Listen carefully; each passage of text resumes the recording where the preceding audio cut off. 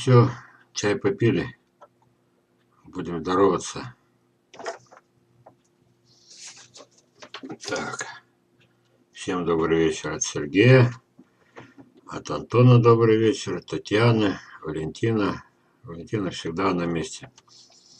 Вологда. А ну-ка, ну-ка. Та самая Вологда. Здорово. Так, Марина. Вы погубили Вологодский абрикос знаменитый. Надо восстанавливать. Губили не вы, а восстанавливать вам. Иначе какого... Ой, извините, черта вы здесь сидите. Вам придется восстанавливать. У нас прекрасный зимний денек, минус 8, солнечно, выпал снежок, прикрыл землю. Ну, все пока нормально. Кострома минус 8. Ну, для меня Вологда, Кострома это одно и то же. Так, ну, примерно, учитывая масштабы Сибири. Виктор, привет. Северный Казахстан, привет. Сызрань, здравия. Видите, Алексей, вот что бы я без вас делал, а? Ведь это вы меня научили эти самые, находить мои фотографии на чужих сайтах. Сколько вы их тогда разоблачили? Сотню первую? Знаете, масштабы в стране какие? Почему им нужна суперкоманда? У нас в стране сейчас, это я э, не могу успокоиться, я обращаюсь к Сергею Железову, к Юлии Матвеевой, вот, Кате Кузнецовой, к вам, э, назовем вас лидером, э, единственный мостик с наукой, вот, Савинич, Елена Савинич, Елена. Я что хочу сказать. В стране огромное количество, вот то, что вот сейчас, вот, вот, вот как вот сейчас, видите, вот где застряла, вот слева вот моя морда, да, застыла. Вот сколько этого уже добра. Я же все собрать не смог, у меня отдельная папка. Там где-то есть фотографии, где-то есть адреса, где-то нет. Вы понимаете, огромное, уже собрать, я забыл самое главное сказать, э, вот когда я так долго говорил, говорил, говорил, вот про то, что э, такое богатство теряем, и некому этим заняться. Вот. То, что сказал, сделала наука, это все предел. Мы можем вырастить более морозостойкий, но менее вкусный. Мы можем вырастить более вкусный, но менее морозостойкий. Все, работа с кисточкой, с искусственным опылением прекращается. Ее больше не, она не нужна, вообще не нужна. Вегетативная гибридизация повышает морозостойкость, не ухудшая качество. В других случаях ухудшая немножко, но в третьих случаях она же дает такие прибавку, что я уже говорю, наверное, когда-то на Земле все начиналось с культурных растений скульптурных. Это же красота какая, то, что в сибирских садах-то. А мы не смыслом наукой. Надо прекращать работу с этими презервативчиками, марлевыми по, по этими самыми мешочками, с кисточками. Вот. Прекращать. Меня тут один раз все-таки ткнули, сказали. А вот Мичурин беря зимнюю вывел. Это, еще, по-моему, грушевку я уже не помню. Ну и вывел. наука должна сейчас перейти на обследование садов. И не просто на обследование. Представляете, приезжает вот к Нине а, Акима, вот она что, слева вверху, вот она. Вот найдем мы ее, допустим. Приезжает, на что привита, как ухаживала, сколько лет, где взяла, всю родословную. Вот это надо. Не надо самому ничего делать. Мы вам все сделали. Мы вам. Вот это самое главное, что в этом мысли, как ее внушить, я не знаю. Кому, вернее, внушить. Сегодня 108 вебинар «Москва молчит». Один раз был звонок, помните, такой московский номер, э, красноречивое молчание, когда московский номер, когда я это самый первый канал э, поливал грязью, извиняюсь за выражение. У кого-то нервы не выдержали. Но это все пока. Пойдем дальше. Самое, еще раз, надо прекращать селекционную работу в классическом виде. Точка. Когда-то это все прекратится, она прекратится не из-за этого, из-за нищеты, из-за того, что хотят Тимирязевку э, это, закрыть. Такая, как она есть, и никто и не заплачет, кроме тех, кто потеряет работу и жалкую нищенскую зарплату. Пойдем дальше. Так, Валерий Константинович, скажите, пожалуйста, черенки, прежде чем вложить полиэтиленовый мешок, надо обернуть влажной тряпкой или не надо? Нет, это страшная ошибка, я с ней сталкивался, сталкивался еще, получая... Вот когда я проклинал, не проклинал, а очень э, пренебрежительно, с презрением, с каким-то брезгливостью раз говорил о э, журнале «Присадное хозяйство», сильно много. Ну, вот сами поймите. А вот печатает письмо. А я вот взял топор, да и это, и стесал кору. У меня яблоки стали крупнее. Другое, я, я взял и посадил в эти самые, э, в автомобильные эти самые э, камеры, шины.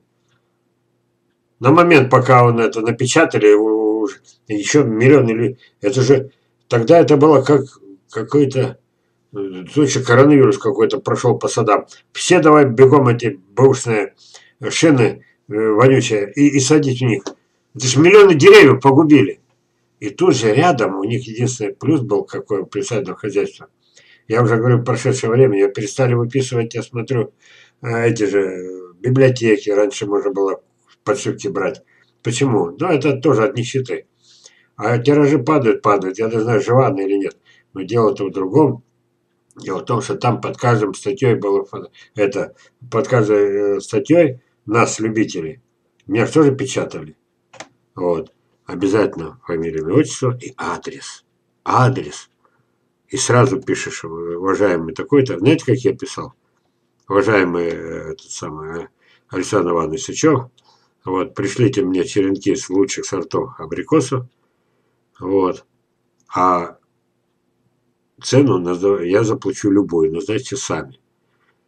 Чем интересно, никто никогда из таких специалистов супер не завышал цену. Вот просто тогда такой был уровень. И вот благодаря вот этим мы много узнали и обменялись благодаря вот этим данным. Или телефон, или адрес. Сейчас этого нет. Все, реклама, все. Или плати, или во. В результате мы теперь потеряли связи. И где теперь Нина Акимова? Вот. А кто-то должен это самое, уже, уже изучать ее как феномен, в конце концов. А то вот там это ни хрена на Волге расти не будет от Железова. Это у меня все вылазит из меня наболевшее. Так, смотрим дальше. Так вот, никаких влажных тряпок, потому что я это тоже такие вещи читал, и вы читали на сухую, гниют.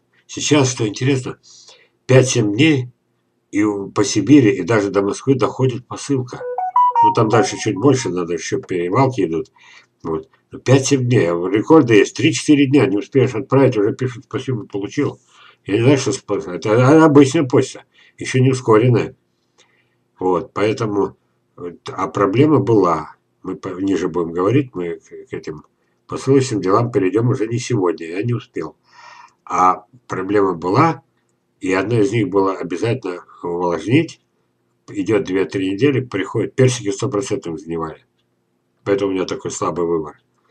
Вот видите, на сухую.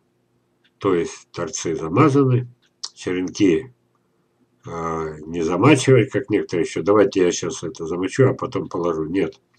Плотный полиэтиленовый мешок, плотный, толстый погребе лежат, и ничего не делается до марта. Потом, да, просыпаются черешни, это ранний овощ, за ними просыпаются абрикосы и так далее. Но там уже следить надо. И, пользуясь случаем, говорю, вот с них-то и надо тогда начинать прививки. Не ждать, пока проснется. А то проснулась и все, и выбрасывайте. Так, Виноградов пишет нет. Ну, Виноградов это наша школа, что вы хотите. Правильно? Нет. Только что он написал нет, а я стараюсь как-то подольше рассказать. Заготовил с весны подвои. Закупил черенки яблони, сливы, абрикосы. Интересно где. Вопросы. После прививки весной пересадить на место лучше сразу, как почки тронутся на черенке, или осенью с обрезкой? Если пересадить это же весной, то стоит ли следующей весной срезать половину кроны? не стоит. Если уже весной пересадили, уже можете не трогать. То есть сделать кустом для морозостойкости. Срезы побегов использовать на черенки в марте. Ну, тут вот, пол вебинара надо. Пол вебинара. Так, сейчас, минуточку. И сегодня на катке с детишками аж процедился. Вот. Им-то хорошо. Так. Так вот. Давайте по порядку, ну, к сожалению, очень коротко. И сначала. Итак, вы заготовили подвой с весны, то есть они уже укоренены. Так. Весной есть варианты такие. Ну, выкапывать, брать за столом уже не рекомендую. Так. Встать на коленки, привить – это идеальный способ. Так. Раз уже бывает, что с пересадкой приходится, а тут у вас уже раз заготовили, значит они у вас уже растут. Все, ладно, растут. А э, привили, теперь дальше что делать? Возможно, если бы вы были уверены, что вы копаете с большим комом земли, помните, как я показывал, да? Все-таки они год исполнилось, у них корни вросли в землю, может быть, вырезается ком земли, и как только почки тронулись, вырезается и пересаживается. Чем способ хорош? Корни еще маленькие. Я так делал. Выход годного 90-95%. Бывает и гибнут, но редко. Вот этот способ годится. Вот. Или, и, как многие, ну нет земли, подождем до осени. Тут стройка, что угодно. Тогда да, осенью пересадил, но уже пол, половину кроны долой. Верхней половины, не нижней, по-дурному, по верхней половины. Вот так коротко, если говорить. Теперь еще. Привили, не трогаете, а оно служит уже маточным садом, уже и привойным, привойным, не только подвойным, маточным садом. То есть ждете уже зимы, ничего не пересаживаете, тогда максимальный мощный прирост привой даст, если не пересаживать. Привили на месте на коленях. И в начале зимы чик и пониже, вот столько всего оставляете. И у вас, собственно, черенки на прививку. Вот так я ответил. А только вы пишете марте, а мы, мы понятием ноябрь-декабрь смотря где живет. А Нижний Новгород может в декабре. Когда мне написали, что на уровне Земли в Нижнем Новгороде как-то какой-то из годов было минус 52. Ну, попробуйте это. Мар, э, чер, чер, дождетесь марта, а у вас черенки мертвые. И это может быть. Так, спасибо, Борис, за пожелание. Валерий Хасанович, уссурийская груша привет для получения семян. Я подозревал, что вы селекционер. Подозревал побольше бы таких. Так, Михаил, здравствуйте. Пригла... Всем привет. Так, это, наверное, свинин. Куприсова Надежда. Какие бумажные книги можно почитать по биолокации? Значит, знаете как? Откуда я стал биолокаторщиком уже крутым? А, просто я баловался. Это... Мне всегда это было интересно. Вот я всегда лезу туда, куда меня не просят. А однажды началась перестройка, и у нас в стране появились книги импортные. До этого биолокация не существовала. Вот. Э, вообще не существовало, как бы. То есть это как бы лженаука. Вот. А появилась книга, я купил книгу, которая называлась, название, они же не дураки, хитрющее название. Знаете какое? «Смерть в вашем доме». И беру и читаю. Ну там в основном решетка Харпмана была и гепатогенная зона. Ну, подробно все с умом. Вот. И я это все внимательно прочитал. А тут же, я уже и так умел рамки, да что, господи, взял эту э, электрод, обил эту самую, сверху эту, как она называется уже, память металлург называется, уже забываю. Короче, обил, оставил этот э, проволоку так называемую столистую, согнул, но аккуратно, буквой Г, все, плохо работают. Я их раз в эти, вот, вот, в эти самые, вот, вот открутил, с этой, вот тут открутил, вставил, рука не сжимает, они там, все, и работают, а, не как часы, научиться надо. Ходить, ходить, нудно, пока научись почти вертикально, о, горизонтально, ну, чтобы они не это, не болтались туда-сюда. А вот заболтался, значит, наткнулся на это. или на решетку Хартмана, или в гипотогенную зону. Вот. Вот видите, я целую лекцию прочитал. И дальше получается так. Книга меня только убедила, что дело серьезное. Потому что я потом дал объявление. Вот. Это было время, когда верили экстрасексам, кому угодно. Помните это? Э, сумасшествие, это, которое называется это, ведьмовство, даже так можно сказать. В общем, ведьмовство какое-то. Но мне верили, меня весь город знал тогда. Половину знали как инженера на заводе, а вторая половина как садовода. Я мерил и эти самые участки, я мерил и эти самые и дома, и заставлял мебель переставлять. Вот. Но я набивал руку, поэтому сам напрашивался. И вот, значит, современные книги, я не верю ничему. Сейчас наберите, увидите там, это же люди, ауру это никто не видел, а там всем слоем ауры, там что угодно. Вот отличить просто, где человек заработал на книге, а чем больше напишет, чем толще книга, тем больше гонорар. Вот, поэтому сейчас я даже не могу вам ничего сказать, кроме как это. Где-то коротко в моих материалах встречается. Вот. А я же не зря вам показал, вот э, этот, эта самая гостевая книга, показать, как мне заходить, по-моему. Сайт, даже показывать не буду. Сайт садовода Железова в Яндексе, в Гугле. Верхняя строчка. Попали на главную страницу. Набра... Нажали на эту, на мышку. Гостевая книга. А там нажимаете, и вот вы мои фильмы смотрите. Как всегда, бесплатно. Вот. И вам после просмотра этих фильмов книга уже не понадобится, вот это, бумажная. Тем более, что я все, что пишу, это все, вернее, рассказываю, это все реально. Вот. Так. Большое спасибо. Буду пересматривать блокнотом. Замучитесь. Наверное, если с этими, с повторами где-то тысячу фильмов. Так. А вебинаров 108.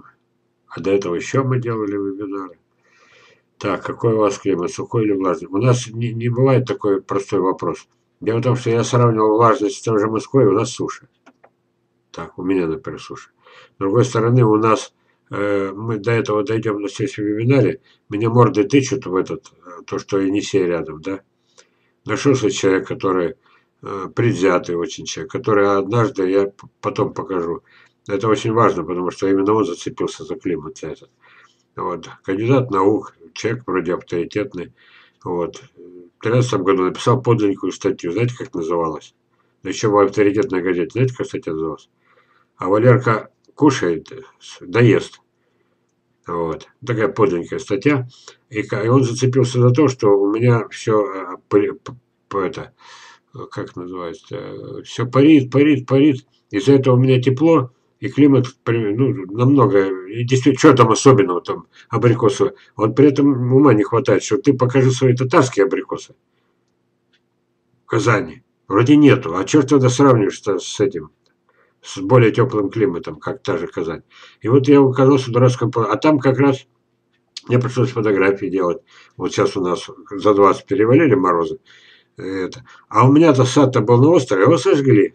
А я про него написал, рассказывал в этой же газете, что это, там пару было, ну, с двух сторон э, течет вода, и это, пар, пар, пар, пар.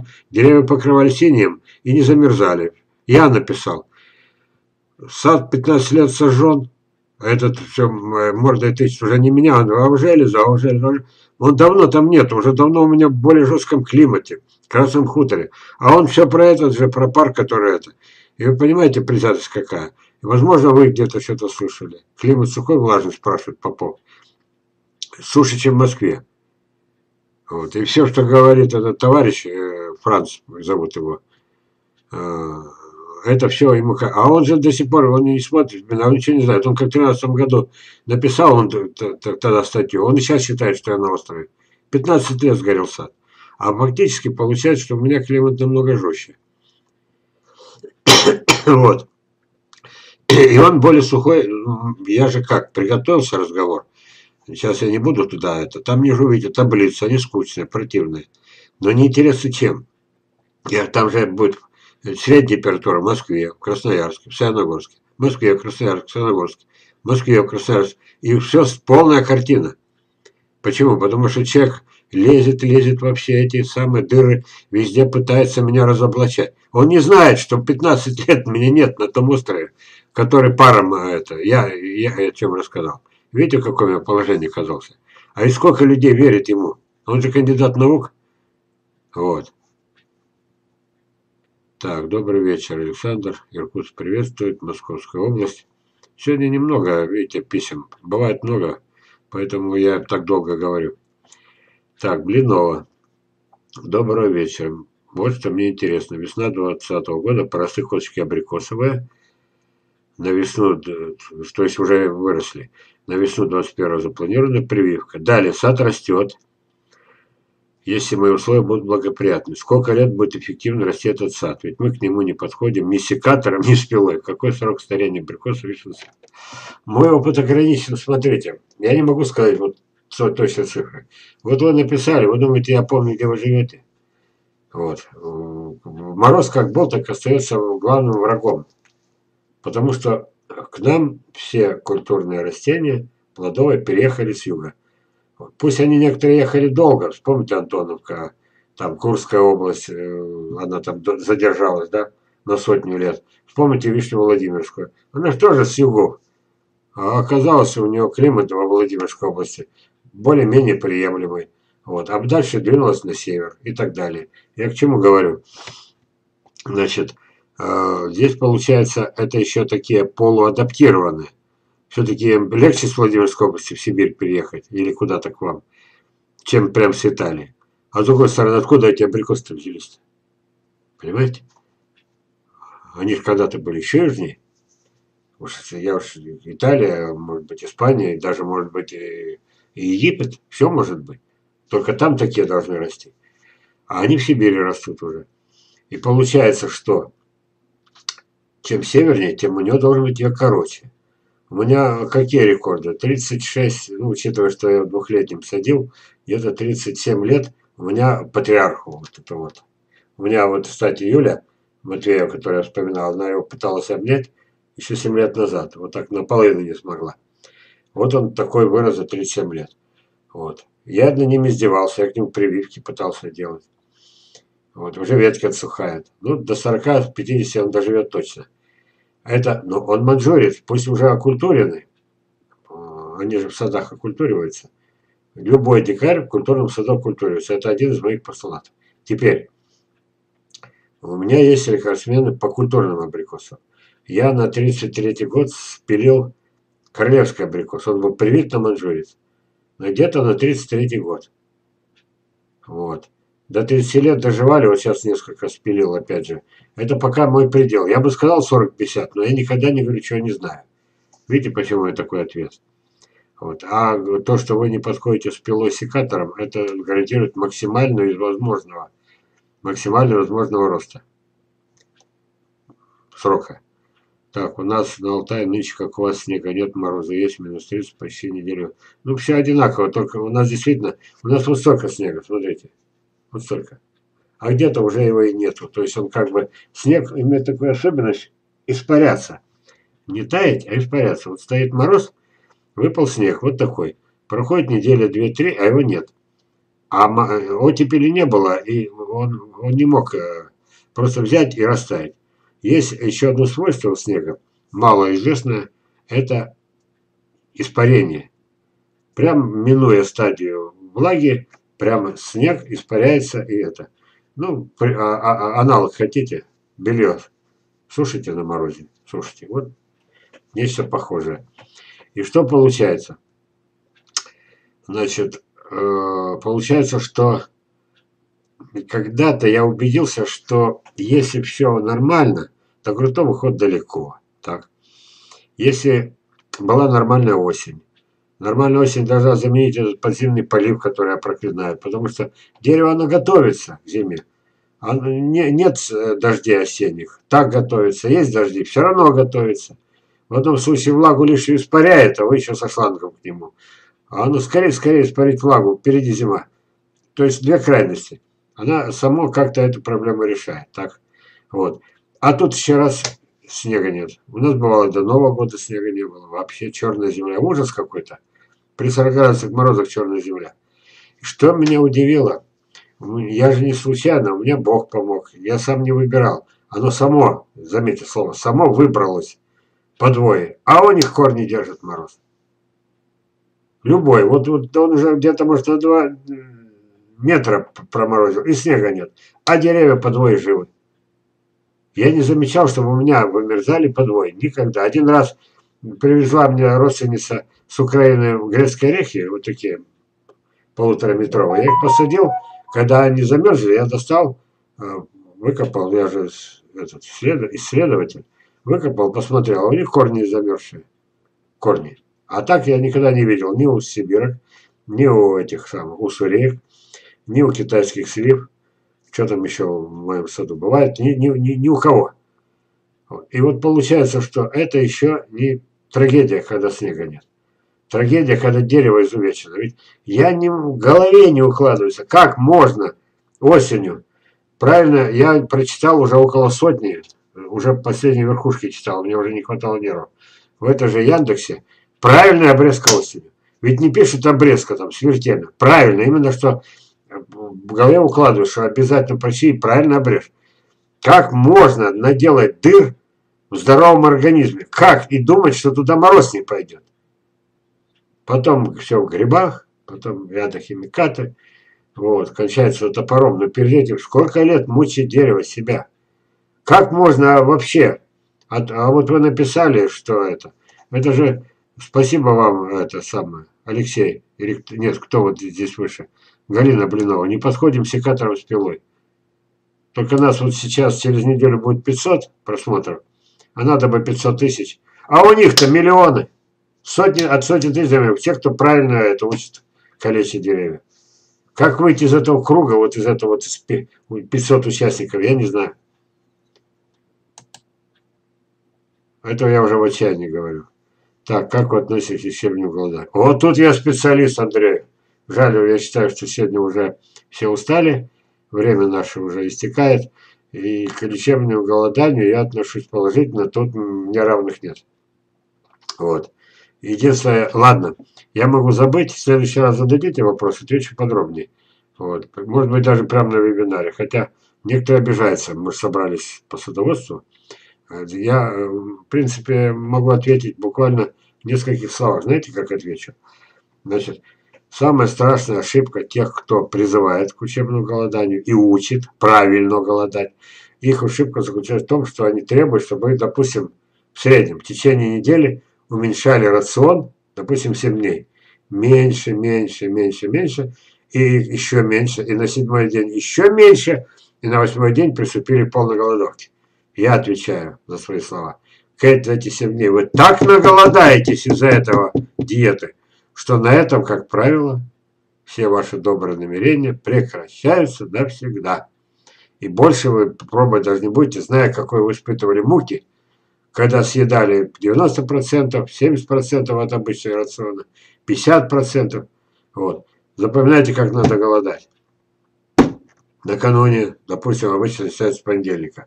Воскресенье считается всегда разгрузочный день и так далее. На ночь наедайтесь до самого упора. С таким расчетом, чтобы завтрашний понедельник, когда вы начинаете сразу полную голодовку, ну кроме воды, вы Хотя бы до обеда не испытывайте комфорта, ваш желудок все еще переваривает пищу ночью и первого полдня. И вы потом убедитесь, что вы вступили в голодовку намного легче, не мучая себя диетой предварительной. Вот это одно главное, что вы должны знать, и вся страна и весь мир должен знать. Голодовка – полезнейшая вещь для здорового организма. Если у вас нет камней почки, если у вас нет камней печени, иначе вы махом окажетесь на, этим, на операционном столе, если вас еще возьмут, сейчас больницы все закрыты, кроме коронавируса, знаете. Вот. Очень опасно голодать тем, у кого камни печени и почка. Начинайте с этого, проверяйтесь, нету, а если есть, вы опоздали. Голода, голодовка для вас опасна. Вот это если коротко. Но начинайте голодовку, на ночь наедайтесь до упора. И тогда вы поймете, вы войдете в голодовку, постепенно, постепенно организм не будет сразу мучиться. И вы удивитесь, что и еще настраивайте за 2-3 недели. Мол, завтра еще голодать не получится. За 2-3 недели вы должны знать, что в этот день вы, этот, вы последний раз поели, и все, утром просыпаетесь и больше не едите. Психологическая подготовка здесь такое же важное значение имеет, как мой первый совет. Наедайтесь до упора. Все, хотел перенести, но в принципе я все сказал. А, имею ли я право? Знаете, я всегда так. Человеку говорят, ну еще минутка. Человеку говорят, знаете, что ему говорят? Значит, обратитесь к врачу. Приходит он к врачу. А врач, как тот, знаете, я до сих пор не могу, не, неудобно фамилию говорить. Федеральный канал, сидит толстая морда, мешки под глазами. Вот, видно, что насквозь больной, что печень больная, что почки больные. Вот такие мешки под глазами. Что он чревоугодник. Вот. И он говорит, учит нас всему. И голодовке, всему. И вот сидит это человек, который через лет должен умереть, и учит нас это. Проводит эти самые, ну вот именно проводит лекции. Ну вспоминайте, а, недавно, не так давно было. Вот. Вот это никуда не годится. Если я говорю, значит я голодал неделю, две недели, три недели, четыре недели. Вот. И все это прелести голодовки испытал. Вот так вот. И самое страшное было потом, я рисковал жизнью, до конца уже скажу, потому что наголодался так, что когда я все имею право есть, я начинал не постепенно, но так хотелось жрать, лучше голодать неделю или две. Так хотелось жрать, извините, что я сразу наедался, рискуя получить заворот кишок, целый месяц ничего нету там пищи, заворот, и сразу еда с мясом. Не мог, вот жрал, жрал. Вот это минус. Я рисковал даже жизнью. Заворот кишок – это стопроцентная операция. А где она операция, если я по тайге шарился? Умудрялся. А что сама голодовка? Мне на 20-й день, помню, когда самая длинная была голодовка, на 20-й день у меня было нормальное свидание. И эти самые, без всяких, как сказать, осложнений, без всяких этих, без лени. Вот все, теперь все сказал. Так, друзья, слава богу, вроде бы больше вопросов нет. Надоел. Так, а может не надоел. Всем желаю здоровья. Так, всем желаю иметь такие сады, как вот та самая Нина Акимова. Вот, все-таки, знаете, как меня они настроение поднимают такие? Вот такие вот письма. Жду от вас заказы на черенки. Они скоро, долго не продержатся. На семена. Крупноплодные абрикосы косточки кончаются. Урожай был слабый. Вот. Средние еще есть, а этих мелких море. Ну, я имею в виду манжурцев. И пожелание сказал. Встречаемся мы ровно через неделю, 14 числа. Надеюсь, нас больше вряд ли станет, меньше не станет разносите всю эту информацию дальше, дальше, дальше. Это моя просьба. Вот. Мы когда-то решили с Антоном, потеряем годы. А это, это потеряно, знаете, сколько времени на подготовку? На все про все. Вот. Но мы деньги брать не будем. Вот. До свидания, друзья. Спокойной ночи. Всех вам благ.